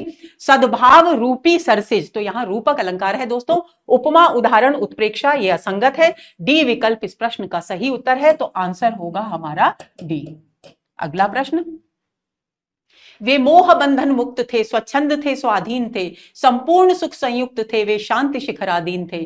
पंक्तियों के विषय में असंगत कथन है पंक्तियों को समझ लेते हैं। पूर्वजों की बात की जा रही है, पूर्वजों के लिए कवि कह रहे हैं कि हमारे जो पूर्वज थे, जो ऋषि थे, वे सारे सांसारिक मोहों के बंधन से मुक्त थे अपने आप में स्वतंत्र थे, स्वतंत्र विचरण करते थे, स्वतंत्र चिंतन करते थे, अपने स्वयं के निर्णयों के अधीन थे। क्यों? क्यों थे अधीन? क्योंकि उनके निर्णय स्वार्थ से प्रेरित नहीं होते थे, बल्कि लोक कल्याण से प्रेरित होते थे, संपूर्ण सुख संयुक्त थे। और यही कारण है कि उन्हें सारे सुख के साधन प्राप्त थे और वे जीवन में शांति के शिखर पर विराजमान रहते थे, यानी उनके जीवन में सर्वत्र हमेशा शांति व्याप्त रहती थी। इन पंक्तियों के विषय में असंगत कथन है। ये पंक्तियाँ गुप्त जी के जयद्रथ कृति से ली गई है।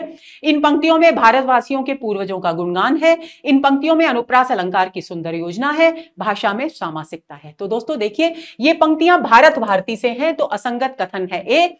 इन पंक्तियों में भारतवासियों के पूर्वजों का गुणगान है, बिल्कुल सही है। अनुप्रास अलंकार है, ये बात भी बिल्कुल सही है। सवर्ण की अनेक बार आवृत्ति हुई है। भाषा में सामासिकता है, मोह बंधन युक्त। शांति शिखराधीन, सुख संयुक्त, ये सभी सामासिक शब्द हैं। तो ऐसी स्थिति में ए विकल्प हमारे प्रश्न का सही उत्तर है। आगे चलें। हम बाह्य उन्नति पर कभी मरते न थे संसार में, बस मग्न थे अंतर जगत के अमृत पारावार में। पंक्ति में बाह्य उन्नति का क्या अर्थ है?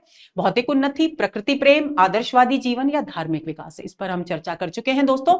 इसका उत्तर है भौतिक उन्नति। बाह्य उन्नति यानी भौतिक उन्नति अमृत पारावार यानी अपनी चेतना की आंतरिक उन्नति यानी चेतना का ऊर्ध्वगमन। आंसर होगा ए। अगला प्रश्न। चारों दिशाओं के हमारे वे जय ध्वज चार हैं। पंक्ति में जय ध्वज किसे कहा गया है? चार ऋतुओं को, चार वेदों को, चार आश्रमों को या चार पुरुषार्थों को? तो बी विकल्प इस प्रश्न का सही उत्तर है। ऋग्वेद, यजुर्वेद, सामवेद और अथर्वेद इन तीनों वेदों को कवि ने जय ध्वज चार कहकर के संबोधित किया है। तो आंसर होगा हमारा बी। अगला प्रश्न। भारत भारती में कवि गुप्त ने ब्राह्मी स्वरूपा, जन्मदात्री, ज्ञान गौरव, शालिनी, लक्ष्मी रूपिणी, धन धान्य पूर्णा, पालिनी विशेषण किसके लिए नियुक्त किए हैं? जननी, भारतीय संस्कृति, भारत भूमि या माँ दुर्गा? तो दोस्तों, सी विकल्प इस प्रश्न का सही उत्तर है। भारत भूमि के लिए सारे विशेषण कवि गुप्त ने प्रयुक्त किए हैं तो आंसर होगा हमारा सी। अगला प्रश्न। क्या थे तथा क्या हुए, हम जानता बस काल है। भगवान जाने काल की कैसी निराली चाल है। पंक्तियाँ भारत भारती के किस खंड से ली गई हैं? अतीत खंड, वर्तमान खंड भविष्य खंड या विनय खंड? तो दोस्तों, ए विकल्प इस प्रश्न का सही उत्तर है। अतीत खंड की पंक्तियाँ हैं ये तो आंसर होगा हमारा ए। अगला प्रश्न, हा अर्थ तेरे अर्थ हम करते अनेक अनर्थ हैं। पंक्ति में अर्थ शब्द का क्रमशः अर्थ है, लिए धन धन लिए, शब्दार्थ लिए लिए या शब्दार्थ। इस पंक्ति को समझ लेते हैं। कवि कह, दुख व्यक्त कर रहे हैं। हा, दुख सूचक शब्द है। हा, अर्थ अर्थ यानी धन।